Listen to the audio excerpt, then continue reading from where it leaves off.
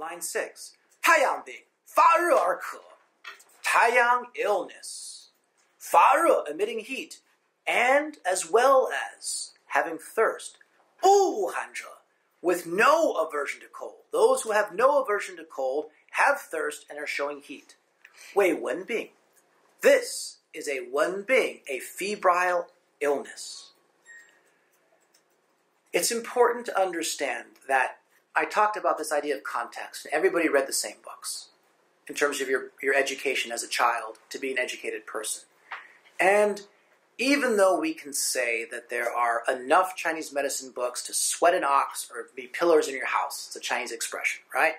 That in the end, there's actually only a few books that every single person guaranteed read if they were the great practitioners, the serious practitioners. The Neijing, the Nanjing, the Shanghan, the Jingui, uh, Sun Simiao, Wai Tai, and then depends where they are later on in history, if the books existed or not. But every single person would have read Nan Shanghan, right? They would have read the Neijing, the Nanjing, and the Shanghan Zabing Lun, which includes both the Shanghan and the Jingui. So if you know this, then when you choose a name to a book, it's always in reference to something else. So this is the Shanghan Lun, and then you go all the way into the Qing dynasty, the last dynasty before modern times. And you have the One Wenbing school, the warm febrile diseases. And you have the great book, which is called Wenbing Tiaobian, um, treatise on warm febrile diseases. And the name was picked on purpose. It's a yin yang. You've got Shanghan, now you've got Wenbing. Okay? When we get to the end, please remind me to talk to you about where Shanghan comes from. Because please do not think struck by cold means you have cold. There are many kinds of cold diseases that include heat. It's all from the Neijing. And this idea of a Wenbing, less stressed at this point because we're going to be reading so much, but when they were saying, what are these illnesses that are being treated that we're not seeing successfully? And then someone went, it's a Wenbing, Shanghan Lun, line six. Here it is. This is where the Wenbing source came from. It didn't come from on their own. They didn't pull it out of the air. They weren't saying things are different now. I mean, what a cop out when people say that, oh, well, illnesses are different today than it was in the old days, so they're seeing different things, so you need different formulas. Know, if you pick up the Wenbing Tiaobian, treatise on warm febrile diseases. Open up the book. First formula or second formula is Guizhitang. Why? Number one, homage to this book. Number two, don't misdiagnose. Just because they've got heat doesn't mean it's not a Guizhitang formula. And then if it's gone into the lungs, if it's hot in the lungs, then you can use the, the Wenbing formulas. And you go through, and if you start going through the Wenbing Tiaobian, you're going to keep coming into Shanghan Lun formulas. Bai Hu Tang, White Tiger Decoction, all of this. It's not a separate book with its own formulas. It is a looking at this, what I'm about to read, as well as what was going on, and then finding formulas that worked, including formulas from the Shanghan Lun. It is not like it's a rebellion against this book. It is a expansion or a seeing of a yin-yang relationship more in this book. So, Wei Wenbing, we have Taiyang illness. What does that mean? It's got to be the Taiyang, so we're going to have a floating pulse. It's going to be head symptoms. That defines it And it should have cold. But grammatically in Chinese, if we go back to this line, what is the first line? 太阳之胃病，脉浮僵痛。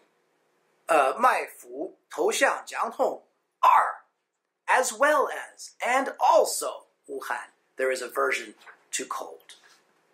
But it's and also an addendum. The core symptoms are floating pulse and the illness is in the head. So, line six. Taiyang illness, they have to have a floating pulse. We're going to have head symptoms. Let's not miss that. Fararku, they're putting out heat and they're thirsty. Bu hanzhu, wei wen bing. They are do not have an aversion to cold. This is a Wenbing. The commentary. Fararku, they've got heat. They're putting out heat and thirsty. Bu hanzhu. This, and they have no aversion to cold.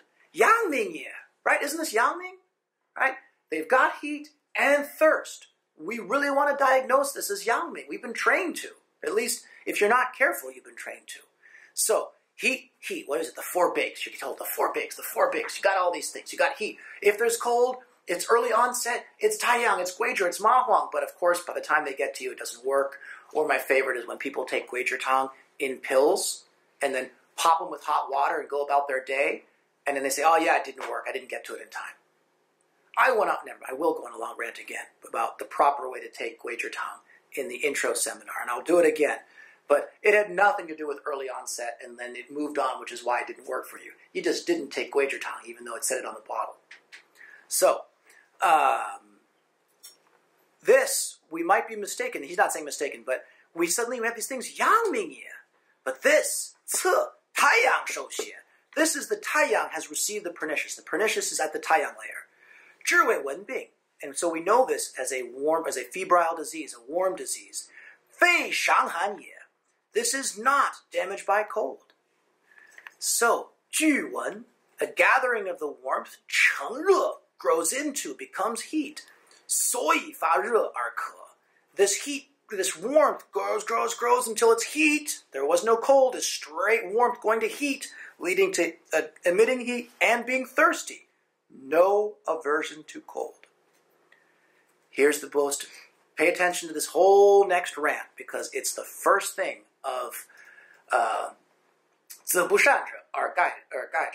Take a look at what was done incorrectly, at what is incorrect, and change it. We're about to see our first run of iatrogenic illness happen.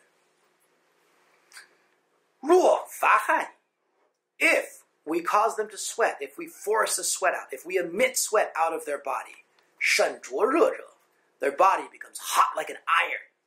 名曰风温, this is what's known as wind one, or wind febrile, or wind warmth. 风温为病. Wind febrile, wind warmth is an illness. 脉阴阳俱浮. The pulses, yin and yang, are both floating. 自汗出 sweat is coming out，身重，the body is heavy，多眠睡。They are constantly or wanting to or frequently sleeping and tired. The breathing through the nose must be blocked. It has that idea of just that, oh, you've got that, you know, your nose is stuffed and dry. I, I don't want to use the word dry, but your nose is stuffed. 语言难出, Words are difficult to get out. Boy, our person is going to end up misdiagnosing because of this.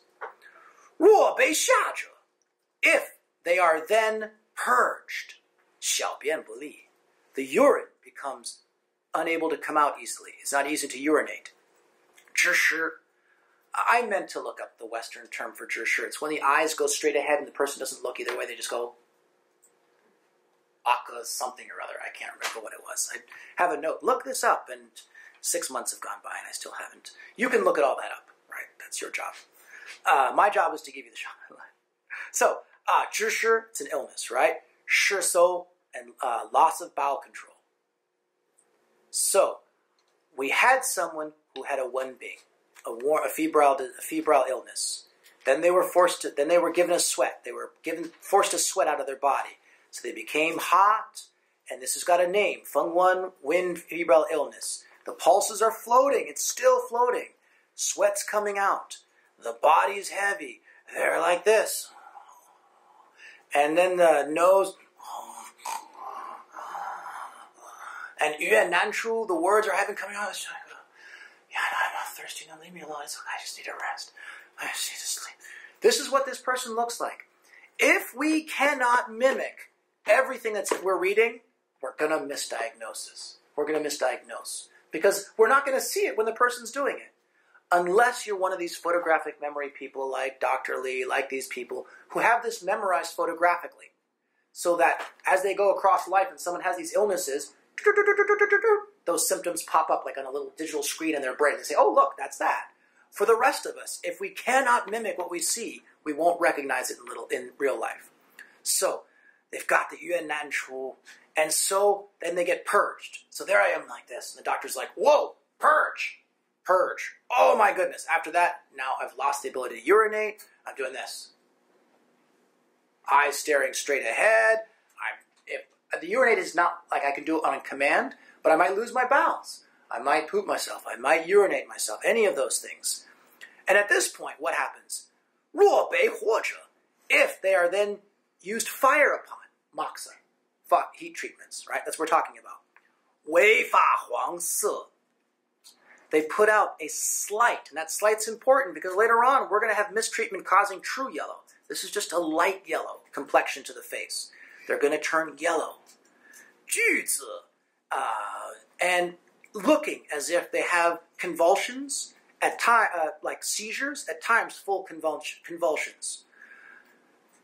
At this point, right? So you gave him fire, and the person turns a slight yellow and starts to have like convulsions and occasionally, like, oh, things are going on. Now what are you going to do? Well, the next step is we're going to use Huoxunzhi. We're going to use fire to fumigate them, which means it's the original ar aromatherapy you have a, an incense burner that has a shape, and you burn on the coals inside, you put in herbs. The herbs burn, turn to smoke, and you waft the smoke into the nose because the patient is too ill or too near death to be able to take herbs. This is before stomach tubes, right? So this is the final stage. And if you want to see what it looks like, uh, The Last Emperor, the movie, the very opening scenes, you have um, the Empress Dowager dying and they have a panning of the room of like the opulence, and you will see next to her bed is Shun. Whoever did the research knew what they were doing because the herbs are burning and the incense herb smoke is coming out, and she's breathing that. She's breathing that. It's a very powerful medicine. So at this point, we have Ruo Huo Xunzhe.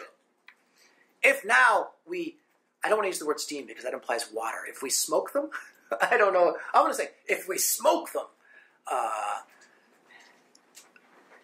that does not sound right. Fumigate. I'm using fumigate, but I mean, fumigate doesn't imply smoke. All right. Well, yeah. Fume. Yeah, fumigate. Smoking. Right? It is. So it's coming from the Latin. So if we fumigate them, 一逆上一日，再逆促命气. You guys have heard me say this over and over again. If you've ever been in a seminar of mine or watched me say it, to go and do something wrong once lengthens the days of illness.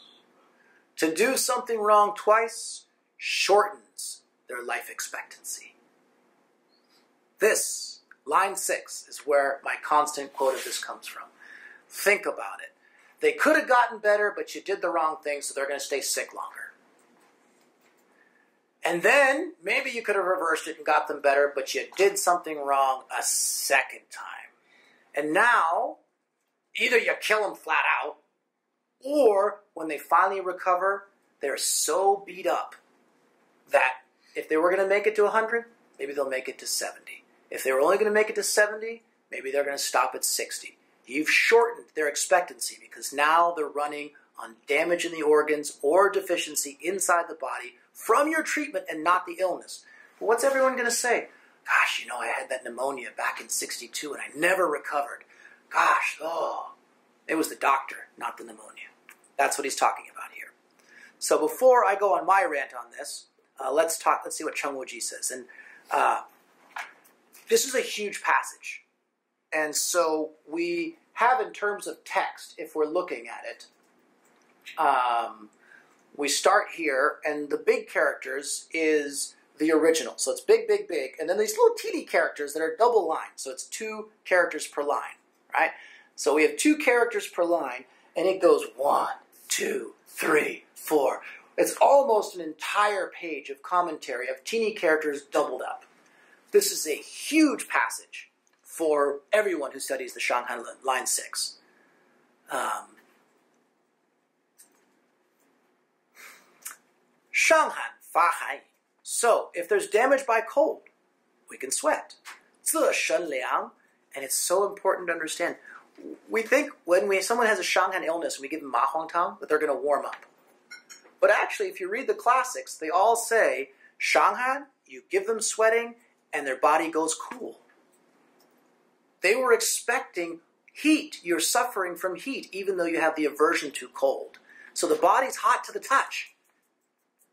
You give them Ma Huang Tang, and the body cools to the touch. Even though on the inside, you will feel warm talking about the touch here.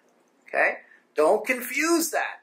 I mean, uh, having had three children, it is so easy to touch a child and think, oh, have a fever, and want to go immediately to fever medicine. it's perceived hot and cold, not touch hot and cold. And we've got a line coming to talk about that.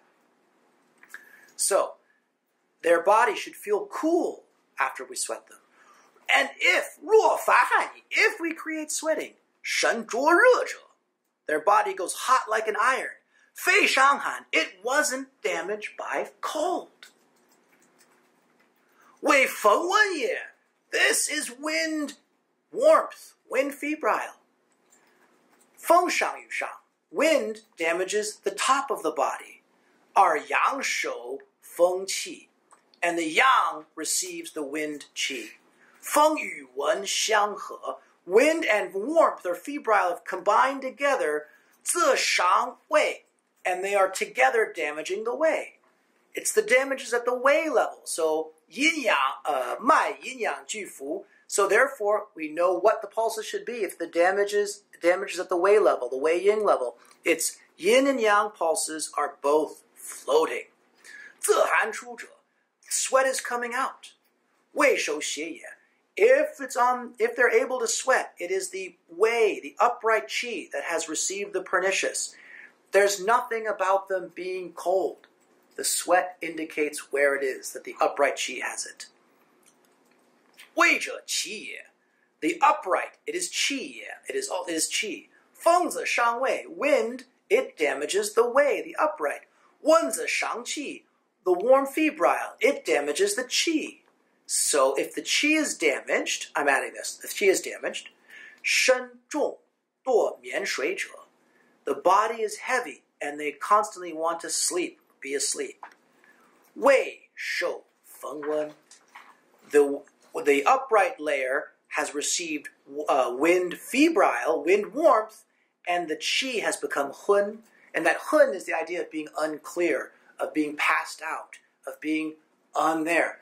And so when we see the fatigue, the body heaviness, not what? Not pain, not vomiting.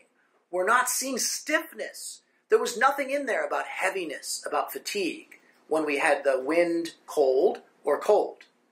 But the moment we start seeing this, the warmth has started damaging the chi itself, and the person has body heaviness. There's not enough chi, so the body feels heavier.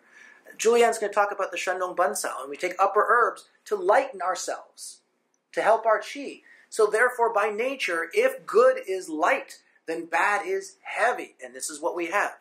So, bi xi bi han, the breathing through the nose has the blocked sound, yuan nan chu zhe. The language is hard to come out, speaking is hard to come out. Feng wen, wind febrile. Why? On the outside is deep. So it's not deep in the body, it's severe. It's really, really got the complete outside layer. It's not just bothering it a little bit. It's got a severity to it that we're talking about. Shun deep. But please don't, when I use the word deep, don't think the English word deep into the body. right? Ar yong bu li And thus the qi, it becomes blocked or trapped and doesn't move with flowness, with freeness. Ruo bei xia If this person so they have these symptoms, if this person is purged, 自上脏气 then we're going to damage the chi of the zang, of the organs. So there they were. They had it on the surface, the upright chi, as bad as it may look or as warm as they may feel, it wasn't too serious, and then we purge them. And the chi, which was being damaged, weakened by the warmth, is now going into the organs. And the organs' chi themselves is about to be damaged. And the best way to understand this is like I said, if we can't mimic or see this in nature, then something's wrong. And nobody is excited to go out and chop wood or be very active on a hot summer day. Lethargy is the word of summer. Napping in the hammock, in the shade, is like the fantasy idea I'm in the palm trees, I've got my little hammock and my little umbrella drink, and the last thing I want to do is anything that causes my heart rate to go up. Because if I get my chi moving, I'm going to be hot on top of the hot and I'm going to be exhausted. And if I do too much, I'm going to end up zhongshu, struck by heat, that summer heat. And so everyone, when there's heat, our chi is both weaker and we're protected by not wanting to do much. Lethargy of summer. Dog days, the dog days. Nobody wants to do anything. So that's happening in our body because of a pernicious warmth inside.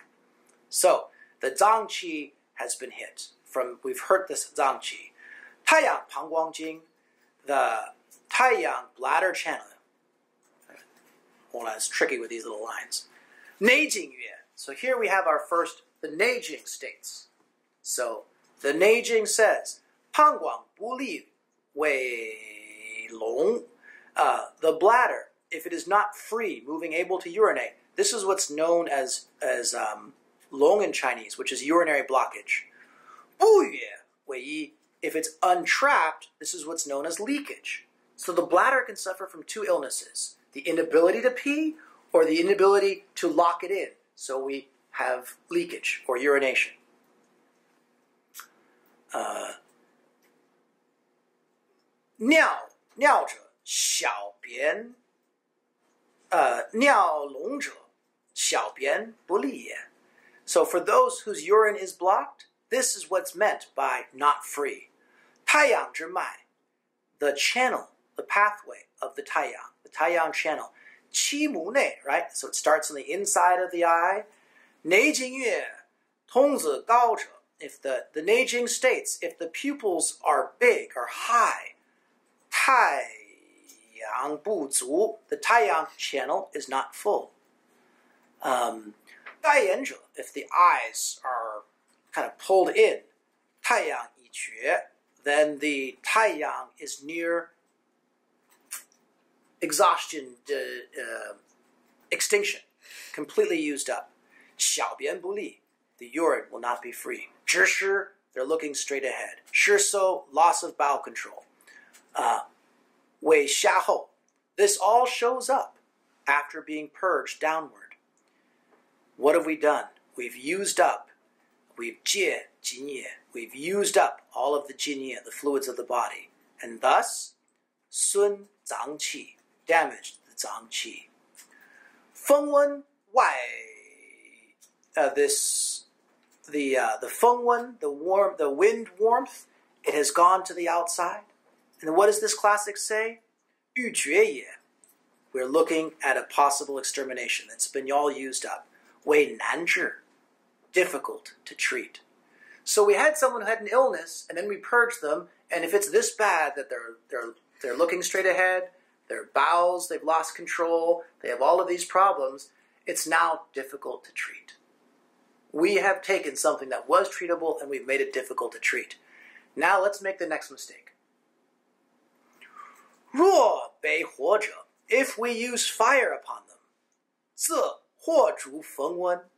the fire is going to help the wind febrile 成热, turn into greater heat, turn more heat. So, um, with this heat, 热瘀而发黄, so this heat is going to be enough that the person starts to turn yellow.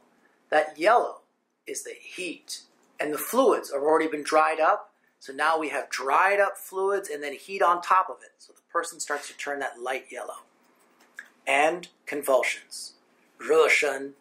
Because what happens is you had an exterior wind warmth that was on the surface. We then drove it in. And in the driving in, we damaged the fluids.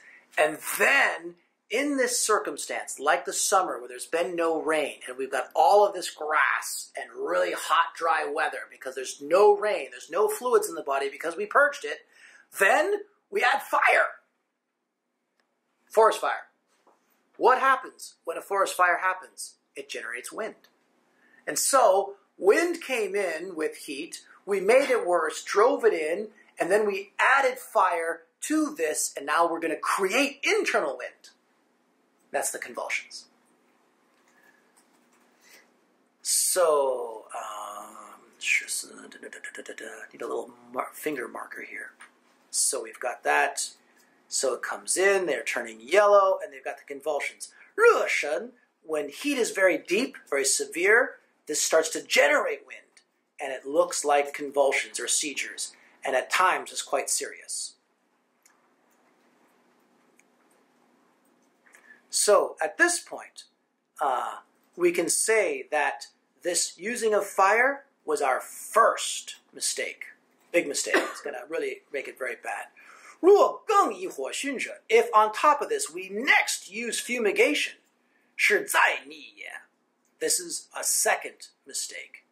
一逆 what the going wrong once lengthens the time of the illness that they'll get better, and they don't get better quickly. And then if we're if we go again, qi zai ni we go against it, we go the wrong direction again, we're going to put them in a very dangerous place. Gu yun cu min qi. Thus, it states, we are hastening the expectancy of their lives.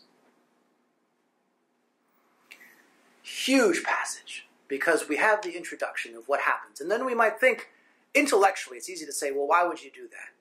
But I had the fortune with being with first Professor Wong, then Dr. Xie, and Dr. Li, and some of the other doctors that I didn't, I can't say I was their students, but I spent time with. I got to see some really sick people. And the first thing that happens with really sick people is you get flustered. If you don't have an internal practice, if you aren't used to it, then the moment something is really ill and the person is writhing on the ground, or their pants are soiled and things are leaking out, or there's vomit coming out of their mouth, or there's blisters, or their eyes, or they're seizing in front of you, it takes quite a lot of experience or 成气. You have to be able to hold your chi down to be able to look at that and not get confused by the symptoms, let alone run away or just call 911 and have nothing to do with the situation. But that was not available back then, right? So, once an illness gets pretty bad or is very sudden or seems big, it's really easy to misdiagnose or second guess. And I don't want to say the biggest danger because the biggest danger is to get it completely wrong. But what a lot of people do is they try and cover themselves and they do a bit of both, not allowing either to get better, whatever happens. So, we have our person who was sick, and we missed the fact that the pulse was floating. We assumed it was a Yangming because they had heat and thirst and no aversion to cold. Heat, thirst, no aversion to cold, sweat. Everything except for the pulse. The pulse was floating. And so we assume the heat was in the Yangming layer from those symptoms and the brainwashing we've had that there's cold and cold is Taiyang. And we purge them. Maybe we give them Chengqi Tang. Maybe we give them uh, purging pills. Whatever we give them, we do that. And the next thing you know, the illness is pulled right into the body with the downward motion of the herbs, and purging damages the yin. It damages the fluids. So now the system is running dry and hot. All right, that was bad enough. We're going to have a whole lot of that. So now what happens? Why on earth would in any situation would you consider in a person like that using fire, moxa? Right? Why? I mean, come on. You've just done that, and they've got this heat. The problem is that you purge them. They had this, but the next thing you know, I'm sorry, you sweated them, right? So you sweated them, and now they're all hot. And you miss the fact that, uh, let's back up. So uh, we have to first sweat them. So you sweat them when you shouldn't have sweat them. The body gets all hot. And now you're thinking it's really, really hot. You miss the floating pulse, so you purge them. Okay? Now, um, you purge them, and the next thing you know, they've lost control of their bowels and their eyes are staring straight. Well, if you're not careful and you know your theory only sort of, and then you get confused in emergency medicine situations, the shun is gone. The eyes, right? There's no communication with you, and they've lost their bowels. Well, isn't that kidney? Isn't that kidney yang? Isn't that shun? And don't we have to return the yang? What am I? How am I going to return the yang in this patient? Right? I screwed up. I gave him purging medicines, and now they're like this. Right? It's like the person's just like trying to turn into a raisin because everything's going out them. I got to save their yang. That's what I'm seeing. I got to get their kidneys. I got to strengthen things back up. Fastest way, moxa. That's what that person saw. That's what the doctor saw. Why would he make that mistake? Because the person was and loss of control. and we've been brainwashed. Kidneys, loss of control, yang problem. We got to do save the yang. Return the yang. Return the yang. Return the yang. Luckily, we can't get herbs in this person. Otherwise, people would try and shove foods in there and really mess things up. Okay, so we moxa the heck out of them, and now the moxa's heat has dried up even further, and the person turns yellow. Now that's that's hot. That's like a that's not the spleen yellow of like I'm feeling deficient. This is like jaundice yellow. But there's no damp in there. It's a different it's a very light yellow. It's like there's no complexion, there's no moisture anymore. So everything turns this yellow. All right? So now they've turned yellow and they've got convulsions. So you couldn't get medicine in, but at least you could do moxa. Now you can't even do moxa because they're thrashing all over the place. So what are you going to do? You're going to get those very aromatic herbs, the ones that open the brain, that do all the things we'd use for concussion, for bringing people back, and you're going to burn it. And they're all very scattering herbs. They're fragrant herbs. They're like, so you have a person who's got these convulsions, and you're thinking, oh, look, I got to somehow let the convulsions go, let them relax. And now they're just, they're shot. So it's easy. If I was in this situation, there's no guarantee I wouldn't make these mistakes. Now I won't because I have a loop in here, like just when you think. And so, unless we have a loop to catch ourselves and say, let's not treat the obvious. Uh, those of you who've been with me before, you hear me say that the most important thing I do when I diagnose is I get my first diagnosis, my first hit of what's going on. And then I spend time trying to prove myself wrong. I don't look for more symptoms. I don't try and confirm what I see. The first thing I do is try and prove what I saw wrong. And if I can't, I'll continue in my vein until I can or until I know I have a pretty confident diagnosis. But I don't go, oh, look at that, I see this, and then I run with it. Because if you run with the first thing you see, you will always be able to find information that supports it or convince yourself that it's enough to go on. But if you always stop and say, wait a minute, line six, Shanghan Lun warns me that I'm going to run with these symptoms, miss something, and make it much worse. Pull back, look carefully. What do I know?